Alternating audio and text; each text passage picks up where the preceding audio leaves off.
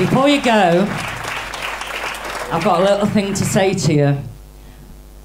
I lost the love of wrestling quite a while ago, and I, I couldn't really watch it anymore because I didn't feel the love that I felt for it, but I, I do now. And this girl came and worked on a show that I was on, and her and Kay Lee Ray did a match that made my hair stand on end. And I literally cried when I watched this because it, for me, this was the start of these kind of girls making British wrestling what it should be.